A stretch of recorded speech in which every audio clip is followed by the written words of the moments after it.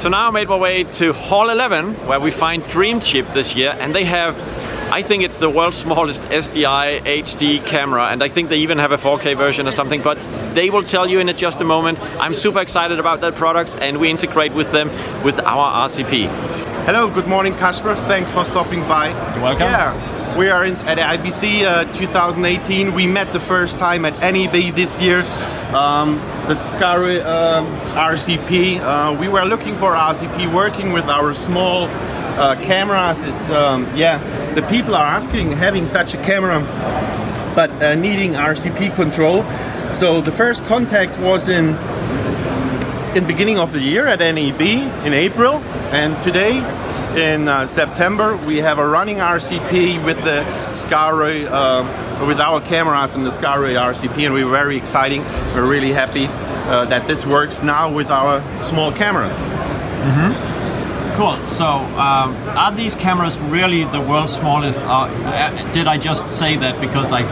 Uh, we, we haven't seen anything smaller, but um, to, to, to, to, be clear, we, we even made it smaller. So, uh, especially for hidden camera Whoa. shows, uh, we, we, we shrink that uh, little baby a little bit. Um, Look at that. To make it, um, yeah, even for hidden camera shows, you can put it in the back, you can mount it into walls, and you still have a broadcastable live image quality and full control on the image pipeline. Our Very software cool. comes for free, so, but what you need is the RCP from SKAARHOJ and yeah, drive our cameras. So quickly, you, so you make these, the Atom 1 Mini, we have those at our booth as well, and then exactly. you have the, the Atom 1. What do I get in that camera over the um, The, the Atom 1 Mini has a rolling shutter because of size. Uh, here we have a, a global shutter, uh, HD, supporting all the SMPTE output formats in interlaced and progressive. Uh, this one is gen lockable, this one not because of the size and the connectors, so we really had to shrink that. So customers that using that um, do not have really the need in gen lock. The Atom one with a global shutter can also uh, put out RAW directly from the sensor so you can take it uh, into post and do all the color processing later on. Wow and I was so um, careless to mention 4K when I introduced you. Yeah.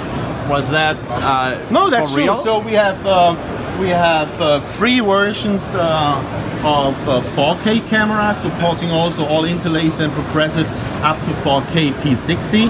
Um, two come with a rolling shutter. This is the global shutter one with a true one inch sensor uh, with 12-bit HDR and 72 dB dynamic range. So this is really great for low light uh, conditions. Fantastic.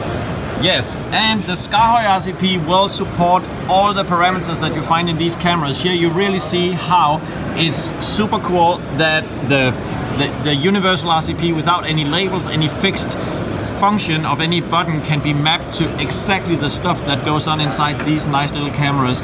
Exactly the same way you have it with other um, camera brands out there that we can integrate tightly with the parameters that's available in them. Do you have any spe uh, special, uh, now we can see red, uh, green and blue gain, that's kind of um, uh, you know expected, but I think if we we press some of these buttons, we access other things. Do you have any any special parameters that we can? Uh... Uh, no, we're, we're, just having the RCPs here so people can uh, play around with it. So we are not the the broadcasters, so to say, that can um, uh, play really on, on, on the image. So we, we're getting better in tuning our own image. But uh, when you have the real camera guys coming here, so uh, with the RCPs you see here, they tune our cameras within one to two minutes to a perfect picture. So uh, incredible. But these uh, guys have really learned how to do that. Um, yeah. Thank you very much. Have a good show. Thank you, Kasper.